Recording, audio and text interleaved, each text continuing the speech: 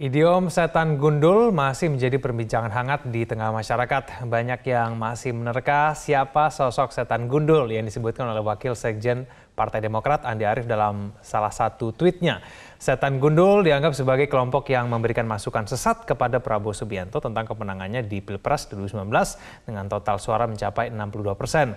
Apakah Partai Demokrat meyakini adanya kesalahan atas klaim kemenangan kubu Prabowo Sandi dan bagaimana tanggapan TKN atas cuitan Andi Arief ini sudah bergabung bersama kami di studio ada Sekretaris Divisi Advokasi dan Bantuan Hukum DPP Partai Demokrat Ardi Balembut dan juga anggota TKN Arteria Dahlan. Bang Ardi dan juga Bang Arteria, selamat selamat pagi. Terima kasih telah hadir sama kami di Metro Pagi Prime Time. Bang Ardi, jadi siapakah sebenarnya setan gundul ini? Ya sebenarnya setan gundul itu uh, nggak uh, penting lah bagi kami. Sebenarnya itu uh, cuitan Andi Arief ini kita tahu bahwa cuitan-cuitannya itu kan selalu mengundang reaksi dari banyak orang. Gitu. Jadi, okay. uh, jadi ini perumpamaan aja begitu Bang Ardi? Ya seperti istilahnya, itulah. Istilahnya itu Seperti itu. Okay. Tetapi namanya uh, partai koalisi kan kita perlu juga mengkritisi teman koalisi. Yeah. Dalam berkoalisi itu jangan juga hanya ada puja-puji kan. Okay. Justru merumus, uh, menjerumuskan teman mm -hmm. itu. Mm -hmm. Jadi uh, Partai Demokrat kita tahu dua periode PSB uh, bisa uh, menjadi pemenang dalam Pilpres Ya. Harusnya teman-teman yang ada di koalisi itu juga mau mendengarkan itu. Oke, okay. tapi apakah memang bang, reaktif lah. Baik, Bang Ardi, tapi apakah memang benar ada apa pun sebutan itu? Mungkin bagi Andi Arief menyebutkan itu adalah setan gundul, tapi apakah memang menurut Partai Demokrat ada orang yang memberikan informasi sesat kepada uh, Prabowo Subianto? Ya, uh, intinya uh, kami Partai Demokrat tetap teguh berada dalam koalisi ya. Okay. Partai Demokrat tentunya uh, justru kita memperingatkan Pak Prabowo yeah. jangan sampai mendengarkan bisikan-bisikan atau informasi-informasi yang sesat mm. dan menyesatkan beliau itu kan mm. tentang kemenangan 62 persen. Ya menurut kami secara logika politik itu nggak masuk karena apa? Pak uh, Pak Prabowo hari ini memenangkan cuma 16 hampir 16 provinsi ya. Yeah. Sedangkan pada saat Pak SBY uh, kontestasi 2009 yeah. itu memenangkan lebih di atas 18 persen. Hmm. Dan Pak Prabowo hari ini kalah di uh, provinsi-provinsi yang suaranya sangat banyak seperti Jawa Timur, Jawa Tengah, ya kan. Yeah, yeah. Itu pun Pak SBY cuma 60 persen. Okay. Kan okay. dengan dengan fakta Baik. dan data itu kan kita perlu mem, mengingatkan ke beliau jangan Baik. sampai terlalu gegabah menyampaikan hal-hal yang menurut kami di luar nalar. Baik. Berarti kalau klaim kemenangan itu sesat begitu ya, informasinya sesat itu ya, dari informasi Bukan sesat, uh, terlalu uh, kemenangannya itu terlalu fantastis lah. Oke, okay, gitu, baik. Ya. Saya ke Bang Arteria, tanggapan dari TKN seperti apa dengan adanya cuitan adanya setan gundul di kubu di kubu 02, Bang Iya, pertama kami nggak ngerti itu setan gundul itu apa, siapa dan ditujukan ke mana itu. Yeah. Itu yang pertama. Kemudian kami lebih memilih jalur yang lebih beradab. Artinya kita sabar, kita menghormati proses rekapitulasi, eh, rekapitulasi penghitungan suara yang dilakukan secara transparan dan berjenjang oleh teman-teman hmm. yang ada di KPU. Hmm. Kami juga tidak menafikan data yang begitu ilmiah yang disajikan oleh lembaga survei. Hmm. Dan memang ternyata kan uh, itu jalannya sama semua, baik di lembaga survei yeah. yang quick count yeah. maupun yang real count kemudian dengan rekapitulasi juga yang dihadirkan oleh KPU. Hmm. Kami juga lebih memilih untuk menghormati kerja-kerja penyelenggara pemilu. Hmm. Saya betulan saya caleg, saya melihat betul kok betapa transparannya, betapa ya. berintegritasnya mereka siang malam untuk hmm. memastikan bagaimana hadirnya demokrasi sehat pada kontestasi pemilu di 2019 ini. Ya, ya. Makanya saya sepakat tadi dan apresiasi penuh kepada teman-teman Partai Demokrat. Ya. Boleh kita koalisi, boleh kita bersekutu, ya. Tapi kita juga harus menjadi teman dan mitra strategis. Oke. Okay. Watawasau bil hak, watawasau bisab. Kita mengingatkan, okay. kalaupun memang ada teman kita yang dikasih PHP hmm, hmm. atau angin surga, Diingatkan lagi Pak Prabowo, ya apa iya Anda bisa dapat 62 persen? Okay. Kami saja nggak bisa jauh dari 54-56 persen. Ya. Tapi dasar ya. dari TKN untuk nah, meragukan data 62 persen itu apa? Ya, ini kita sampaikan ini bukan uh, apa demokrasi main-mainan. Hmm. kita punya demokrasi konstitusional yang diatur secara rigid baik dalam konstitusi kita maupun di undang-undang. Okay. Diatur secara jelas dan tegas. Kita saya kebetulan yang buat undang-undangnya. Jadi ya, kita katakan sebenarnya kekhawatiran ini nggak perlu terjadi ya hmm, teman-teman hmm, ya. Siap. Kenapa begitu? Undang-undang sudah tegas mengatakan kalau ingin klaim pakailah data C1.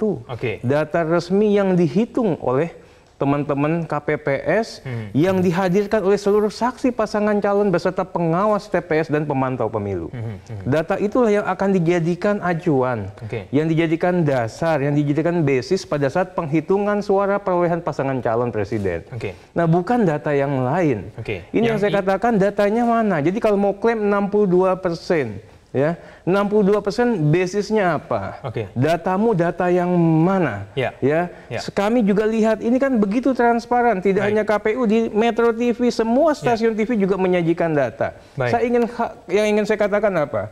Saya khawatir nanti ngotot untuk capai 62 persen, okay. yang ada menghadirkan data yang tidak benar. Baik, hanya data yang tidak benar, tapi ke... data palsu nih, pemalsuan surat ini ranahnya pidana dan saya yakin teman-teman di kubu BPN tidak mau melakukan pemalsuan surat. Baik. Ini sanksinya juga begitu apa pidananya bisa 7 sampai Baik. 9 Saya tahun di sini. Bang Ardi, Bang Ardi tadi kita sudah menyimak paling tidak ada pernyataan dari sesama rekan koalisi di PKS Hidayat Nur Wahid yang menyatakan bahwa oh, 62 persen itu dari survei internal Partai Demokrat.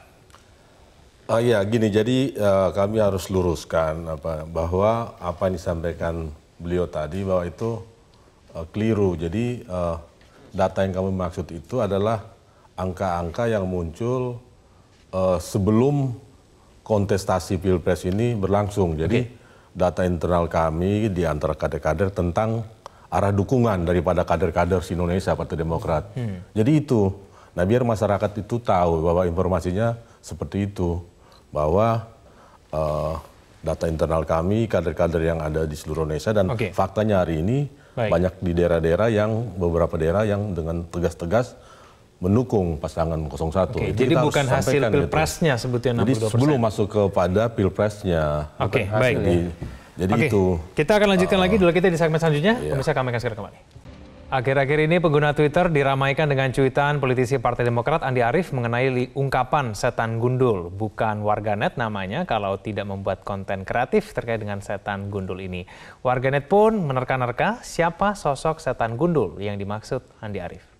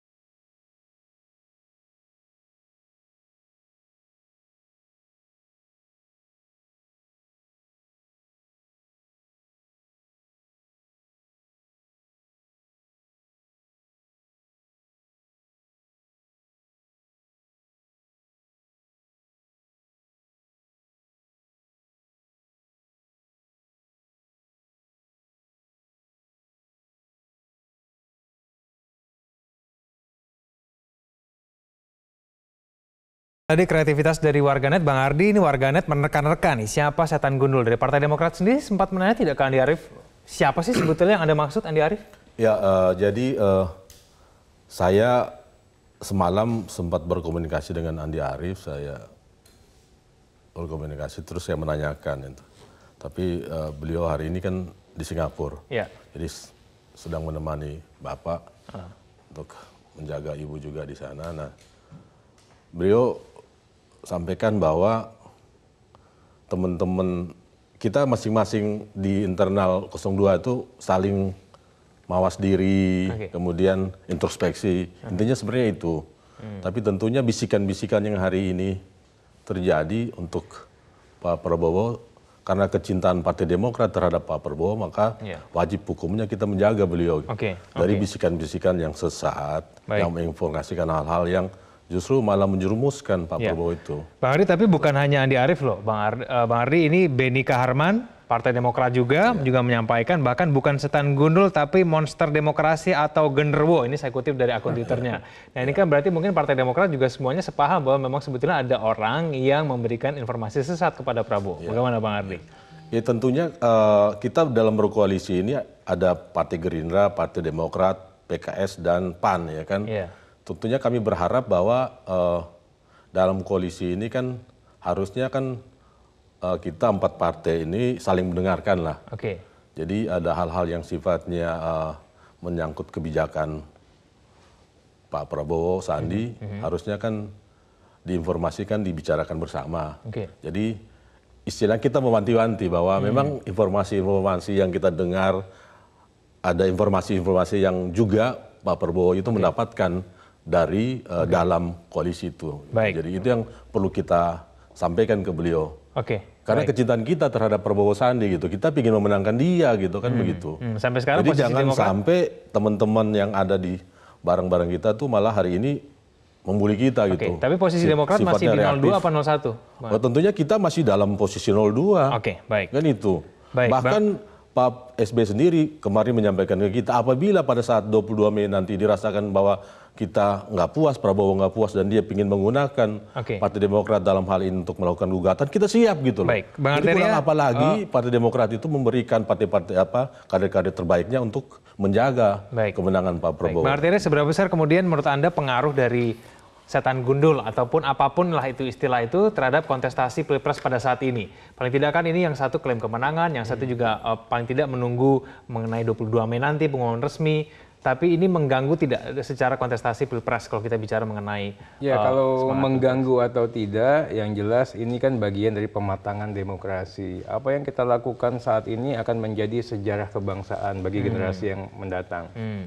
Nah ini yang perlu dicatat sama teman-teman 02 di luar kubunya partai Demokrat okay. itu.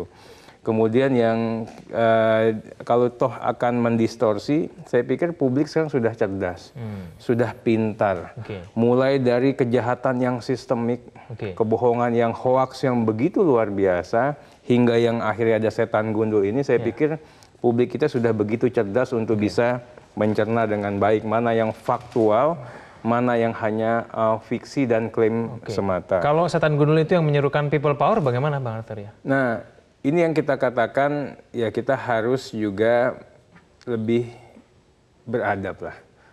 Kita boleh punya libido kekuasaan yang begitu hebat. Hmm. Tapi jangan sekali-kali untuk mengatakan kalau toh nanti ada apa-apa tidak puas dicurangi atau merasa dicurangi, kita akan people power. Okay. Kita ini negara hukum, ya kita sudah sepakat dari jauh-jauh hari bagaimana konstitusi kita mengatur, bagaimana undang-undang pemilu ini mengatur. Yang unhappy, hmm. yang merasa dirugikan, terzalimi, okay. yang merasa silakan ada kanal-kanal hukumnya tersendiri bisa ke Mahkamah Konstitusi. Baik. Tapi yang ingin saya katakan, saya buat undang-undang nih. Saat ini dengan undang-undang yang baru, ya setiap tahapan, di jenjang setiap tahapan ini, mulai dari TPS, di desa, di mhm, kecamatan, mm -hmm. semua dilakukan penghitungan secara transparan. Okay. Kalaupun Baik. ada komplain, komplain pun bisa harus dilaksanakan seketika itu juga, okay. ditemukan kesalahan. Jadi nggak mungkin Oh ada klaim suara saya dirugikan sejuta, dua juta, dua puluh juta, baru ngomong sekarang. Kenapa nggak kamu katakan di TPSmu waktu itu? Baik, nah, jadi terakhir kita ke... katakan agak sangat sulit lah. Baik, Dan terakhir saya ke Bang Ardi. Uh, Bang Ardi, Pak SB sendiri setuju dengan people power? Uh, jadi gini, uh, kami justru uh, tetap mendukung 02, tapi tentunya dengan cara-caranya dengan cara konstitusi. Oke. Okay. Artinya apa? Artinya ya tadi udah kita sampaikan bahwa kanal-kanal hukum yang disiapkan secara baik. konstitusi itulah yang kita lakukan. Itulah pertarungan kita hmm. perjuangan kita gitu loh. Oke baik. Kita bersama-sama akan menentuk akan menunggu nanti hasil dari 22 Mei. Terima kasih. Bang Arteria dan juga Bang Ardi telah bergabung sama kami. Waktu kita sangat terbatas. Selamat pagi. Pemirsa jangan ke mana-mana. Kami akan kembali usai jeda berikut ini